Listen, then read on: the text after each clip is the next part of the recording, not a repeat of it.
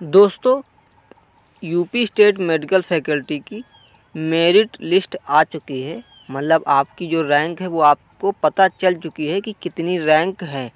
अब बहुत सारे बच्चों का सपना होगा king George medical university Lucknow. अर्थात के में एडमिशन लेना। ज़्यादातर बच्चे के के लिए ही अप्लाई करते हैं कि किसी तरीके से के मिल जाए। और बहुत सारे बच्चे अदर कॉलेज के लिए भी अप्लाई करते हैं कि कहीं ना कहीं उनका सिलेक्शन हो जाए। तो हम इस वीडियो में के की कट ऑफ़ के बारे में बात करेंगे कि आपकी कितनी रैंक होनी चाहिए, जिससे आपको के मिल जाए। तो इस वीडियो को लास्ट तक वॉच करना। मैं कैटेगरी वाइज बताऊँगा जनरल ओबीसी एससी और एसटी सभी का बताऊँगा, इसलिए आप वीडियो को लास्ट तक वॉच करना। और चैनल पे पहली बार हो तो सब्सक्राइब ज़रूर कर लेना। और मैंने टेलीग्राम ग्रुप का लिंक भी डिस्क्रिप्शन में दे रखा है। तो चलिए वीडियो को स्टार्ट करते हैं। दोस्तों, सबसे पहले मैं आप सभी को बता दूँ, मैं खुद के जी का स्टूडेंट हूँ, ठीक है? और अभी आपका 2022 और 23 का ये सेशन चल रहा है, जिसमें आप लोग एडमिशन लोगे। और मैंने 2021 के सेशन में ही एडमिशन लिया हूँ और ओटी का कोर्स कर रहा हूँ। और मेरी जो रैंक थी, जैसे आपकी रैंक आई है, वैसे मेरा सीरियल नंबर था दस हज़ार, ठीक है? अब आप लोग सोचो कि दस हज़ार में कैसे हो गया।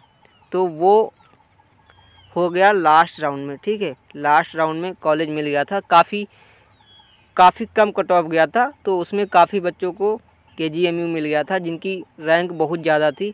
चौदह, पंद्रह हज़ार या उन्नीस हज़ार, ये भी आप समझ सकते हो, थी, तब भी के जी एम यू के लिए वो एलिजिबल थे लास्ट राउंड में, ठीक है?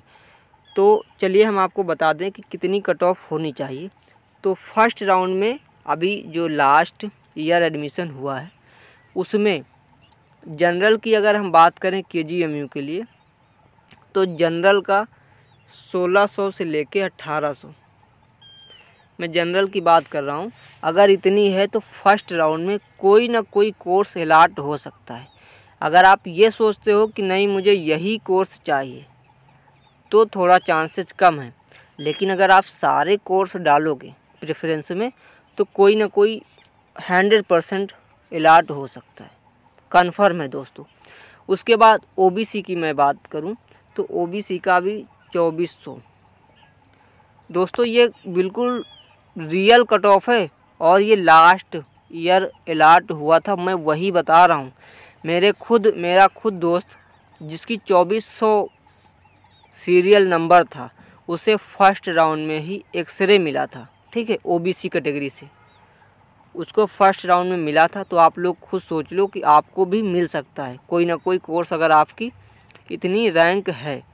अब ना मिले वो बात अलग की है। और एससी कैटेगरी में एससी कैटेगरी में आप 2500 मान लो। 2500 और 2600 अगर है तो K G M U first round में अलाट हो सकता है। और पीएच सॉरी पहले ई डब्ल्यू एस की बात करते हैं।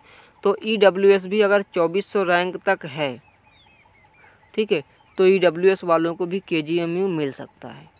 ये पिछले साल की कट ऑफ़ है दोस्तों, इस साल मिले ना मिले वो बात अलग की लेकिन पिछले साल मिला है इसलिए मैं बता रहा हूँ। जैसे मेरा दोस्त ओबीसी कैटेगरी से बिलोंग करता था और उसकी 2400 से ज़्यादा ही रैंक थी। फ़र्स्ट राउंड में ही उसे एक्सरे मिल गया था, उसके बाद उसने ट्रांसफ़र ले लिया था कार्डियो में, ठीक है। कार्डियो में सेकेंड राउंड में उसने ट्रांसफ़र ले लिया था और वो अब कार्डियो ही कर रहा है। तो अगर ओबीसी से कोई है तो 2400 रैंक तक कोई ना कोई कोर्स अलाट हो सकता है और एससी से 2500 2600 तक ईडब्ल्यूएस का 2400 2500 2500 तक है तो हो सकता है और पीएच हो गया एक्स आर्मी फ्रीडम फाइटर और एसटी इन लोगों की रैंक अगर 6000 7000 8000 तक भी है तो आराम से के मिलेगा, आँखें बंद करके लॉक करना। इससे ऊपर वाले बच्चों को भी के मिल जाएगा, जो एक्स आर्मी फ्रीडम फाइटर और पीएस से होंगे। ठीक है, उनकी अगर दस हज़ार भी रैंक होगी, तब भी के मिल सकता है बहुत आसानी से। तो ये थी फ़र्स्ट राउंड की। फ़र्स्ट राउंड में इतनी रैंक है तो आपको के मिल सकता है। अब हर कोर्स के लिए कट ऑफ़ अलग अलग होती है, ये भी आप याद रखना। क्योंकि दोस्तों क्या है ना कि मैंने बोला ना कि फ़र्स्ट राउंड में एक्सरे मिला, सेकेंड में कार्डियो मिला। इस तरीके से हर कोर्स की कट ऑफ़ अलग होती है। तो आप सारे कोर्स प्रेफरेंस में डालोगे तो हो सकता है कोई ना कोई मिल जाए। तो चलिए फिर मिलते हैं नेक्स्ट वीडियो में।